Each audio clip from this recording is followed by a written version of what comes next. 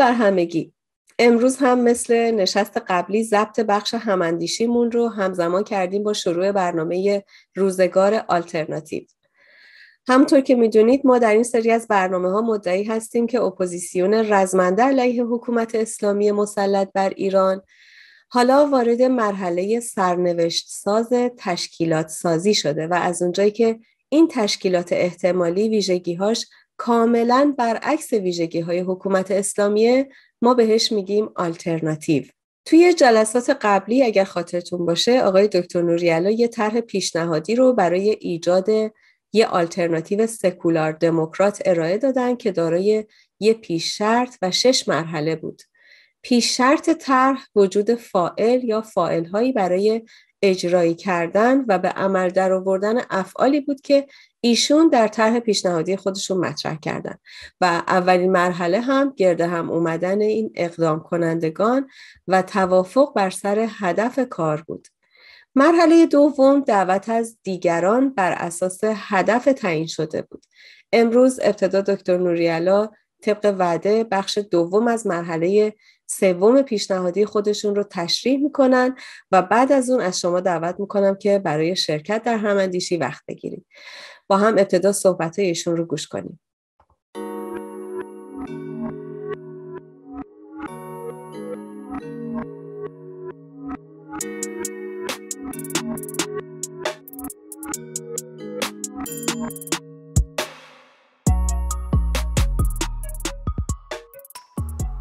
سلام به هموندان حاضر در اتاق هماندیشی.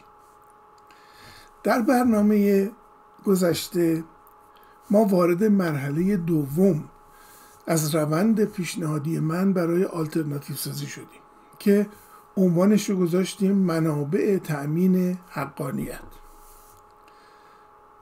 برای اینکه اون گروه مصممی که کلید آغاز روند رو می‌زنند باید به این پرسش پاسخ بدن که شما چرا به خودتون حق می‌دید که آلترناتیو سازی کنید. و یا شما حقانیت عمل خودتون رو از کدوم منبع اخص می‌کنید. در برنامه گذشته گفتم که من بر اساس تجربه این 20 ساله اخیر چند منبع رو شناختم. که نام اولینشون رو گذاشتیم وجود اشخاص معتبر و شناخته شده. و گفتم که اینجور افراد از دو راه مورد شناسایی قرار می‌گیرن. راه اول رو اسمش گذاشتیم سنت خونبنیاد و راه دوم رو رسیدن به اجماع عمومی. حالا امروز می‌خوام به نوع دوم از حقانیت بپردازم که اسمش رو می‌ذاریم کسب حقانیت از طریق گفتمان. می‌دونیم که واژه گفتمان رو آقای داریوش آشوری در برابر واژه فرنگی دیسکورس گذاشته است. و اگرچه خیلی خیال می‌کنن که این گفتمان یه جانشین شیکی برای گفتگوه و مثلا می‌گویند که بد نیست امروز با هم یه گفتمانی داشته باشیم. اما discourse و معادل پیشنهادی گفتمان هیچ کدوم به معنی گفتگو نیست. در تعریف رایج این واژه میگن که هر گفته بلندتر از یک جمله که بر حول محور یک ایده بیان شده باشه discourse هست. اما معنای یک کمی دورتر رایج بین محافل روشنفکری به موضوعی میگن discourse که بیشترین جایگاه رو در مناظرات و مکالمات گروه های وسیع اجتماعی به خودش اختصاص بده. به همین دلیل شاید بشه گفتش که discourse یعنی موضوع غالب فکر و بیان جمعی. که فکر می‌کنم پیشنهاد آقای آشوری هم بیشتر متوجه این معنا بوده است. من می‌خوام این جرأت رو به خودم به خرج بدم و بگم که از دید من ایدئولوژی ها و مذاهب و مکاتبی هم وقتی موضوع رایج و غالب مناظرات و مکالمات گروه های وسیع میشن خودشون یه نوع دیسکورس یا گفتمان هستن. در نتیجه با عطف به این نکته که ارز کردم می شود گفتش که ما می‌تونیم گفتمان ها رو به دو دسته از لحاظ تأمین منبع حقانیت به دو دسته تقسیم بکنیم. دسته اول رو بهش بگیم گفتمان های برخواسته از ایدئولوژی و دسته دوم رو بگیم گفتمان های برخواسته از واقعیت ها و نیازهای زمانه. و گروه های مختلفی میکوشن که خودشون رو به عنوان آلترناتیو یک حکومت مستقر معرفی کنند و در این راه از گفتمانی که انتخاب می‌کنند به عنوان منبع حقانیت خودشون استفاده کنند. مثلا ما در حوزه مذهب از این گونه گفت این حقیقت های گفتمانی یا حقانیت های گفتمانی زیاد داریم. حتی میشه گفتش که همین خود حکومت اسلامی مستقر در ایران هم وقتی جا افتاد سعی کرد که همه مردم یادشون بره که خمینی در بهشت زهرا منشأ حقانیت خودش رو برای حکومت کردن اراده و اجماع ملت دونست. و به نام اونها گفت می‌زنم تو دهن دولت و دولت تأسیس می‌کنم. اما همونطور که در هفته پیش هم دیدیم بعد از اینکه مستقر شدن ملت یادشون رفت و گفتن منبع حقانیت ما اسلام عزیز است.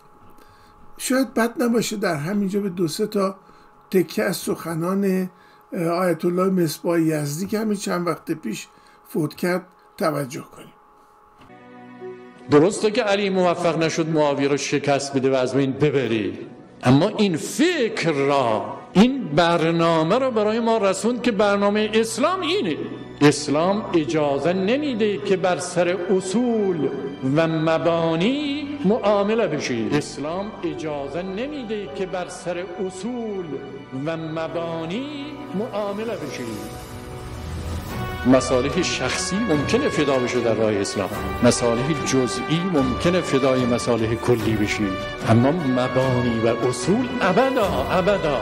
سر سوزنی نباید بهش خدشه برید اگر علی این کار رو نکرده بود من و شما از کجا می‌دونستیم که اسلام هم طرحی برای حکومت داره؟ اجازه نمیده این دموکراسی غربی بر کشور اسلامی حاکم بشید میگه احکام خدا باید اجرا میگه احکام خدا باید اجرا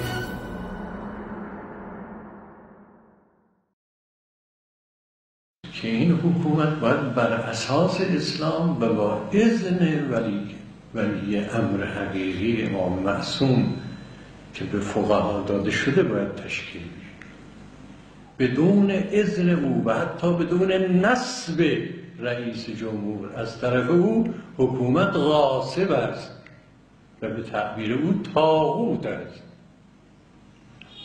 فرمود رئیس جمهور منتخب مردم اگر از طرف ولی فقیه نصب نشود تاغوت است. این مسئله فرق این حکومت با جمهوری های دیگه است. اما اون چی؟ قوا میبخشه به این حکومت؟ مشروعیت الهی میبخشه به این حکومت. مردم از ته دلشون اطاعت از اون را واجب می‌دونن. مثل نماز خوندن برای خودشون این از طرف امام زمان. است هزار کس، کسی واجد شرایط باشه. تا اذن از طرف امام نباشه برسش نداریم. صلاحیت هم داشته باشه. خیلی خوب هم بلد باشه مدیریت مردم همه مردم قبولش داشته باشه. او حق حکومت کردن به اونها نداره مردم چه کارن که به کسی حق بدن؟ مگه خودشون دارن هم چه حقی مردم چه کارن که به کسی حق بدن؟ مگه خودشون دارن هم حقی مردم تعیین کردن که به اسم جمهور یا دارش حکومت کنه هر کار می‌خواد مردم چه حق داشته بکنه قانون که خدا مجری قانون کسی است که خدا تعیین کرده. اصل مسئله اینه که آقا باید با این نگرشمون نگرش دینی باشه. مردم ما ته دلشون مردم سالم ساده خودمون عرض می‌کنم. نه اونایی که ذهنشون آلوده شده به مفاهیم غربی با ادبیات سیاسی غرب. اونا خودشون حاکم شهر و مشتهد جامعه شهر اینا می‌دونن.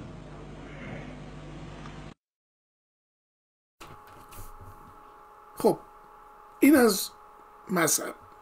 همین موضوع رو میشه عینا در مورد ایدئولوژی های غیر دینی و حتی ضد دینی هم مشاهده کرد.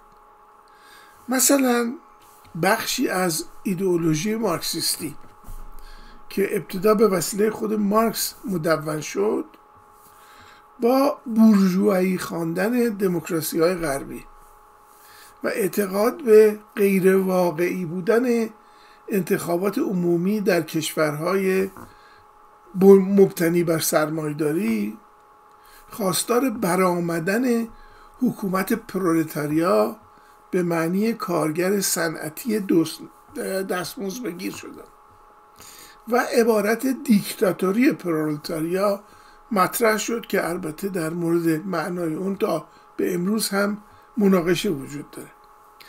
به حال در روسیه با پیروزی حزب کمونیست روسیه به عنوان حزب پیشتاز طبقه پرولتاریا و تشکیل حکومت شوروی و به خصوص از طریق اندیشه های پلخانوف.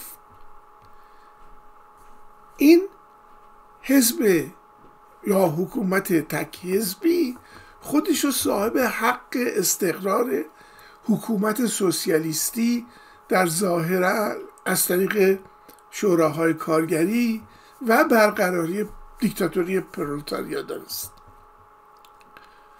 همینطور که می‌بینید ایدئولوژی ها چه مذهبی چه غیر مذهبی و چه ضد مذهبی همیشه به عنوان منبع حقانیت مورد استفاده قرار گرفتن و جای خالی حقانیت قبلی رو که گفتیم ناشی از ارتباط خونی و اجماع عمومی هست رو پر کرده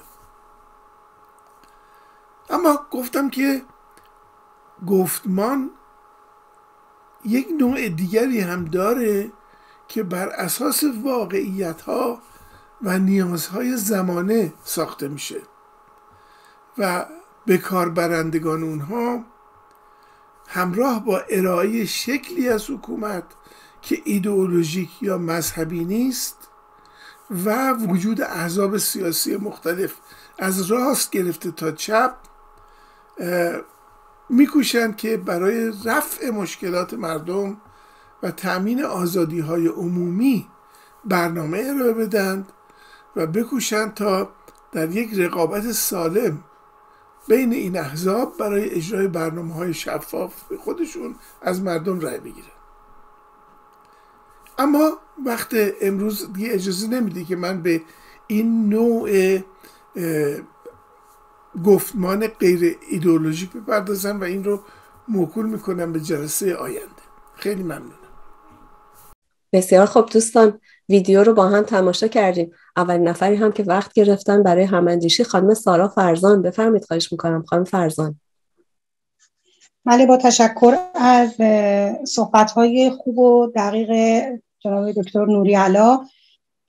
خیلی کوتاه بگم که بالاخره از اونجایی که امروز گروه ها و تشکل ها و احزاب که در لایه های اپوزیسیون قرار دارن خودشون رو مدعی آلترناتیو می‌دونن و داعیه آلترناتیو دارن به حال لازم هستش که به این مهم که این ادعا ریشه در کدوم حقانیت داره و به استناد کدوم مؤلفه ها این گروه ها می‌تونن ادعای خودشون رو یعنی میشه این بر اساس کدوم مؤلفه ها میشه این ادعا رو راستی آزمایی کرد و یا حق بودن اینها رو بررسی کرد.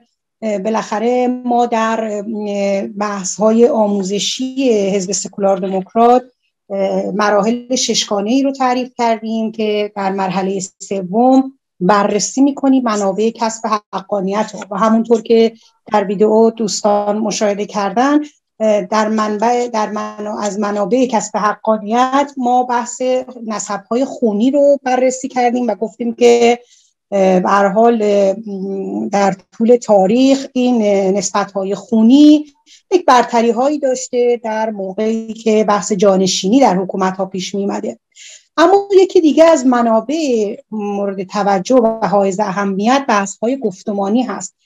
و آن بحث های گفتمانی قالبی هستش که در میان مخالفان و گروه های مدعی آلترناتیو مطرح میشه.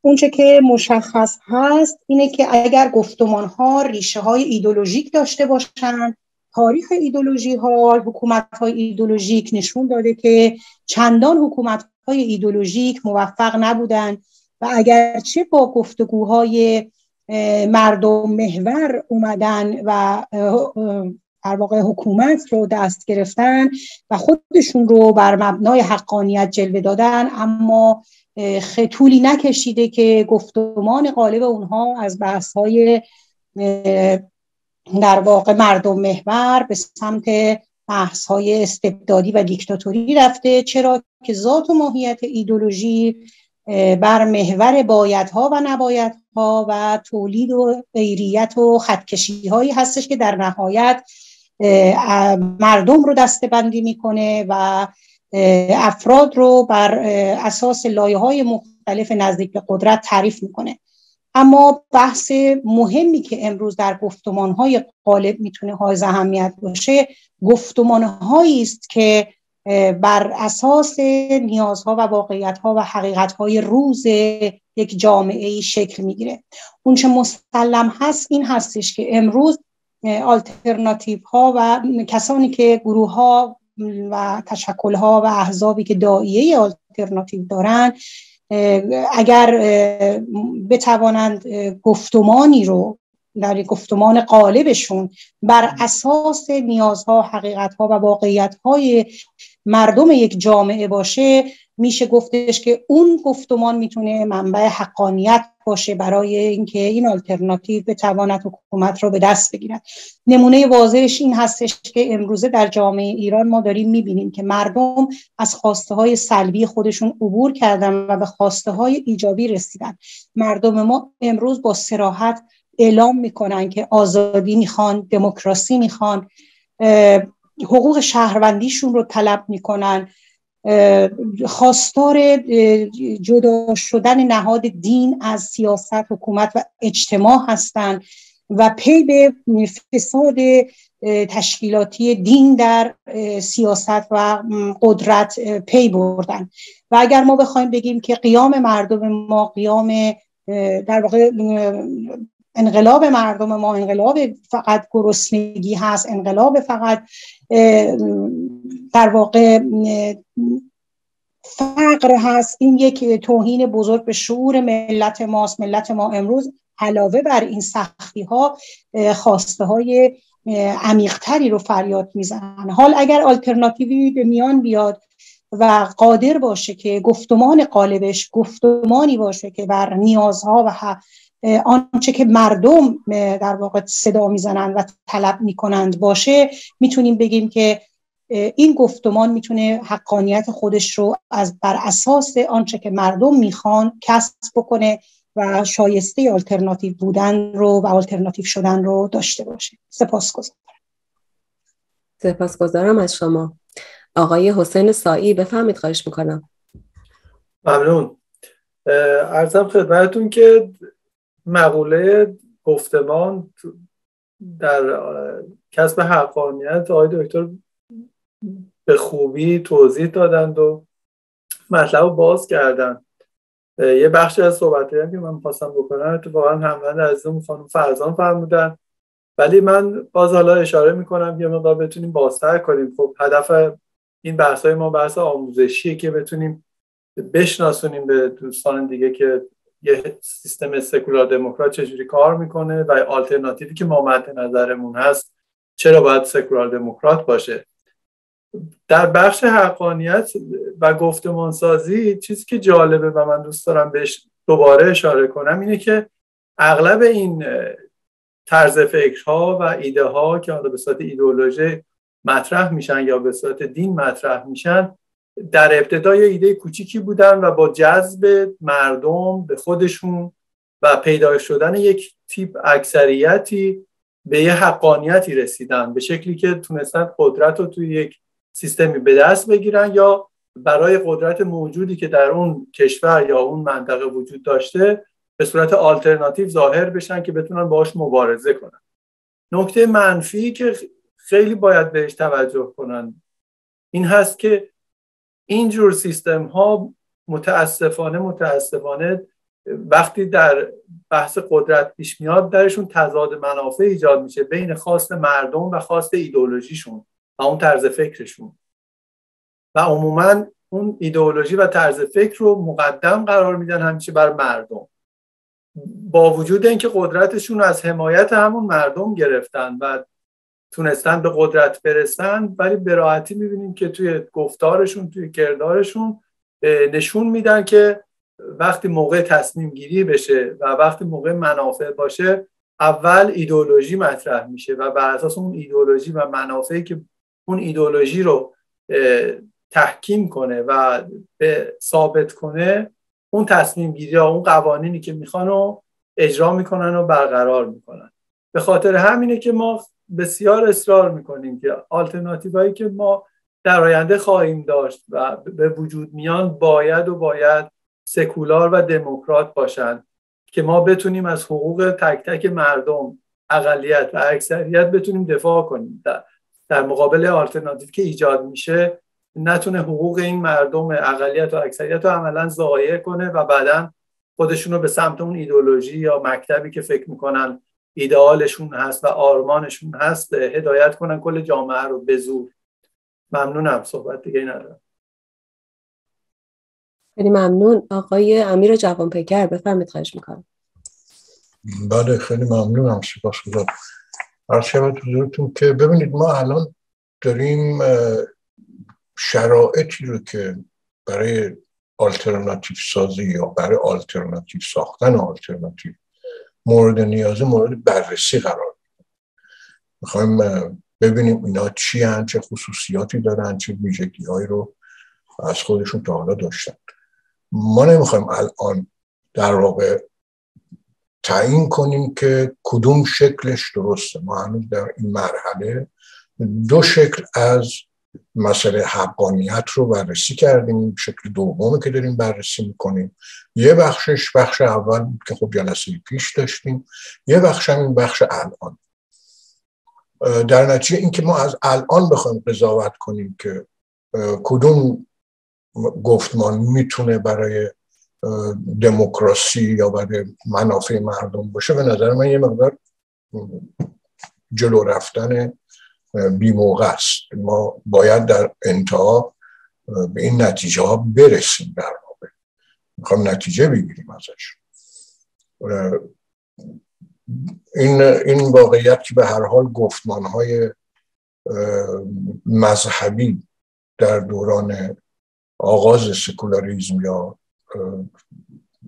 پیمان وستفالی اینها از ساعت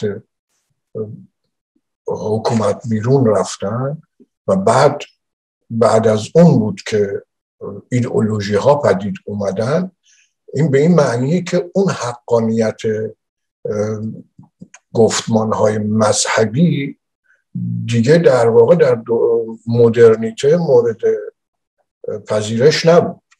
حالا اینکه ما در جامعه ما با اون نیرنگی که خمینی زد اومد اول یک گفتمان دموکراتیک رو پیش کشید و بعد حرفش رو عوض کرد و گفت نه گفتمان ایدئولوژی مذهبی رو مطرح کرد که این سخنان این آقای مصباح که گویا همون کسی هم هست که موقع که مرده بود بعد باز دوباره زنده شده بود یه چشمکی به اون آقا زده بود و دوباره مرده بود.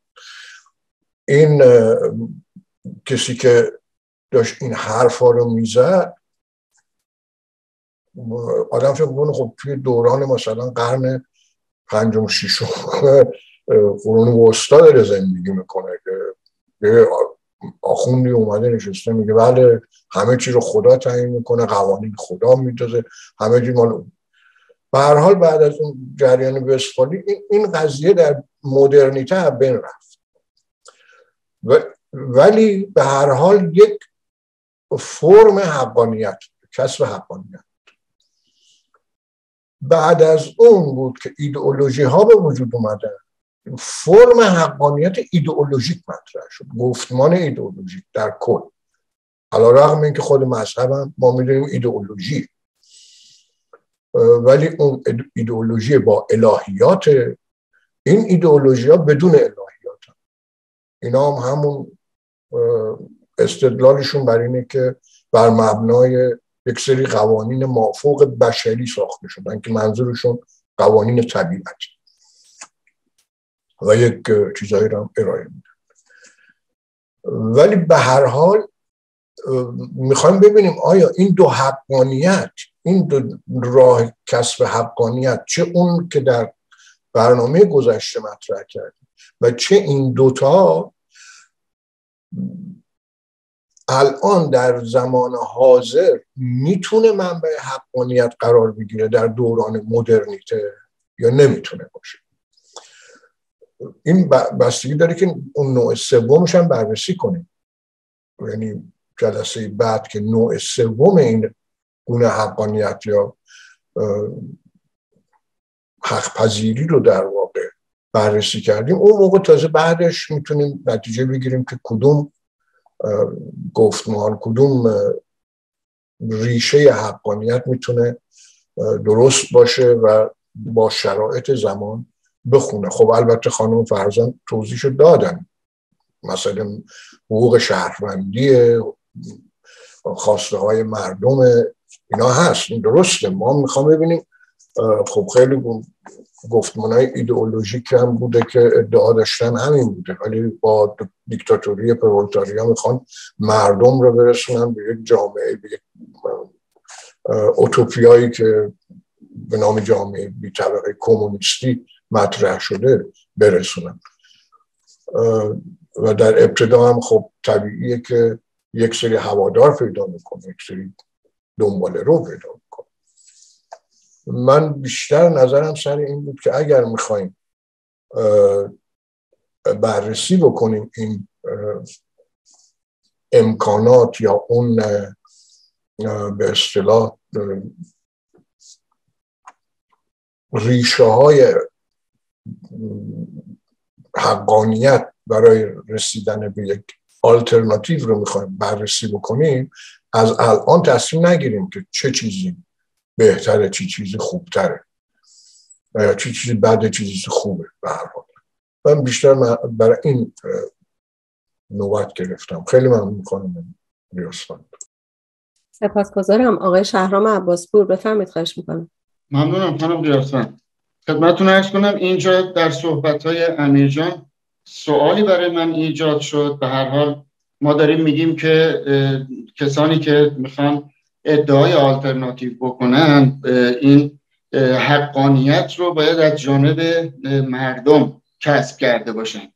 به هر حال ما حتی اگر از سال 86 به این سو ما مطالبات مردم و اعتراضات مردم رو در خیابون اگر دنبال بکنیم می‌بینیم که شعارهای مردم و مطالبات مردم هر روز رادیکالتر و تندتر شده بر علیه حکومت اسلامی.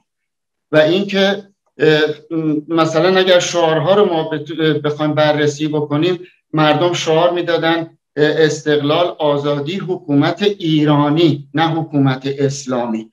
با توجه به این چند سالی که مردم حکومت ایدئولوژیک رو تجربه کردن من فکر می‌کنم که هر روز ما نشانه هایی از این پیدا می‌کنیم که مردم حتی از نظر من وقتی میگن رضا شاه روحت شاه من فکر می‌کنم به خاطر اینکه رضا شاه واقعا میشه گفت که یه فرد سکولار بود و حتی از نظر ما دموکرات هرچند که خود کمونیست ها و بخشی از چپ ها ایشون رو دیکتاتور مینامن ولی به هر حال ما می‌دونیم که توی اون شرایطی که رضا شاه قرار داشت به زور باید با اون حکم فرمایی دیکتاتوری باید واقعا اون آزادی و دموکراسی رو می آورد داخل جامعه اون موقع ایران.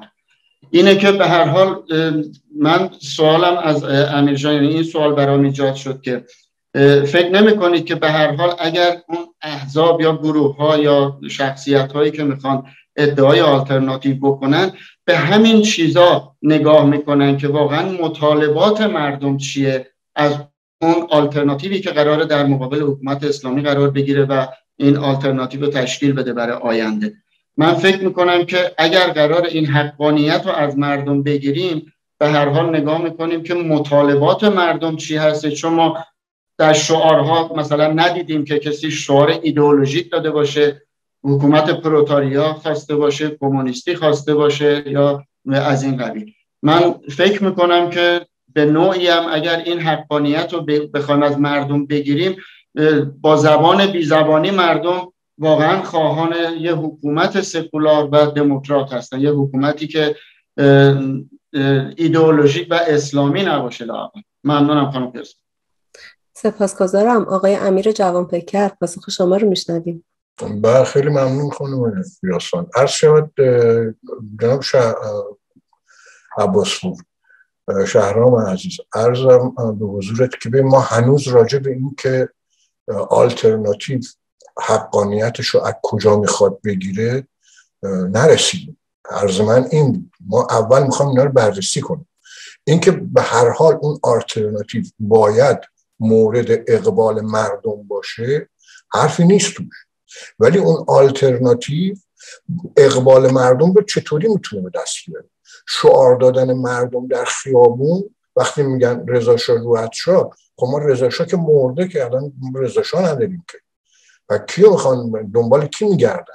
آیا کسی رو در نظر دارن که البته می‌دونید این شعار اساسا از درون اطلاعات سپاه در اومد توی اون درگیری های درونیشون در اومد و توی مشهد می‌خواستن داستانی رو پیاده کنن. علیه رئیسی سر تخم مرغ هم بود یادتون باشه.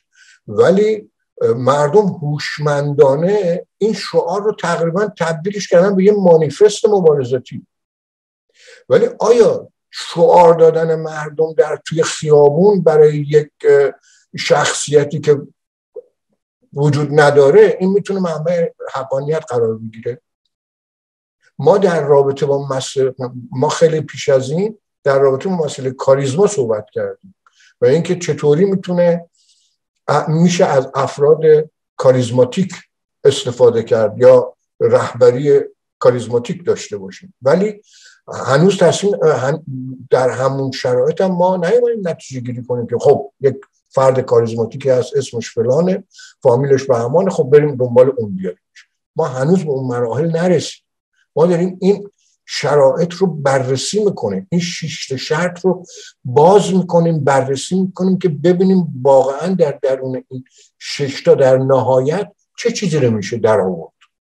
الان توی این جریان حقانیت داریم اون اصولی رو که یا اون پدیده هایی که می‌تونست حق منبع حقانیت باشه اونا رو داریم بررسی می‌کنیم. حالا اینکه چند تاش موجوده چند تاش موجود نیست یا باید به وجود بیاد اینا دیگه بحثای آینده ماست. الان بحث ما سر اینا نیست. اینکه مردم دارن شعار میدن آره مردم خواسته هاشونو بیان می‌کنن. ولی خواسته های مردم زمانی از نظر ما عملی شده عملیه که اون آلترناتیو وجود داشته باشه مردم با اون آلترناتیو رجوع بدن. اینکه مردم با شعارشون بخوان آلترناتیو بسازن به نظر من فکر نمی کنم راه درستی باشه. یا اصلا اجماع باشه در این مورد در درون خود مردم. هماهنگی باشه. الان صحبت سر مثلا جنبش ملی. یه سری اصلا ناسیونالیستن. ناسیونالیست های مثبتن نه منفی. کسایی که خب به مسائل ملیگرایی و ملت مداری در واقع رجوع میدن ما اینا رو الان نمی‌خوام ببینیم. این خوبه یا بده؟ ما می‌خوام ببینیم چه چیزایی هستن. اول این در این صندوق رو با می‌کنیم. توش چیه؟ بعد از درون اون می‌خوام انتخاب کنیم ببینیم کدومش با شرایط وفق میده. خیلی ممنون خانم امیدوارم جوابتون رو داده باشم. پاسخ داده باشم. آقای شرم. خیلی ممنون خانم سپاسگزارم. خانم سارا فرزان بفرمید خواهش می‌کنم. بله من یک در واقع توضیحی رو که هم توش سوال هست هم فکر می‌کنم یک توضیحی هست که می‌خواستم در رابطه با صحبت های آقای جوان پیکر ارز کنم. ببینید دوستان من فکر نمی کنم که ما الان نشستیم داریم یک structure درست می‌کنیم که بگیم که آلترناتیو باید چه کار بکنه. مردم ما و جامعه ما بدون اینکه این ساختاری که ما امروز در واقع داریم بهش نظم و ترتیب میدیم بدانند دارن بر اساس اون حرکت می‌کنن. ما فقط می‌خوایم اپوزیسیون بدونه یعنی این بحث ها بحث که می‌خوایم اپوزیسیونی که ادعای آلترناتیو شدن می‌کنه بدونه که باید منبع از کجا می‌خواد این منبع حقانیتش رو به دست بیاره. و مردم برای مردم داریم تشریح می‌کنیم که بدانند اون اپوزیسیونی بر حقانیت استواره که داره حرف اونها رو می‌زنه و برای اونها برنامه و طرح خواهد داشت. یعنی امروز خیلی دارن ادعای آلترناتیو شدن می‌کنن.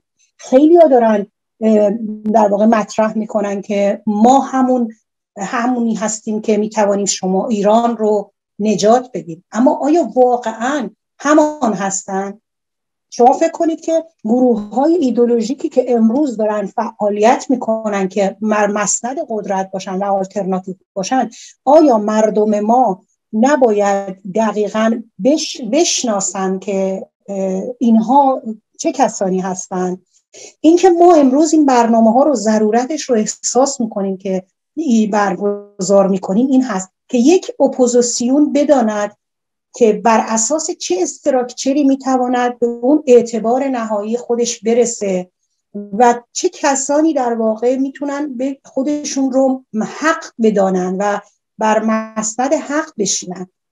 و اینکه مردم بدونن که کسی که گروهی که اپوزیسیونی که ادعای در واقع این رو می‌کنه که می‌خواد آلترناتیو باشه چه اپوز چه طرز فکری داره چه گفتمانی داره؟ آیا گفتمان او همان گفتمانی است که بر اساس نیازهای مردمه یا نه؟ یک فریبه یا نه دوباره تبدیل میشه به یک ایدئولوژی و یک دیکتاتوری؟ این هستش که من فکر نمی کنم که امروز اینا از هم جدا باشه و ما فقط نشستیم که ببینیم. داره همشون با هم اتفاق میفته اپوزیسیون داره کار خودشون می‌کنه.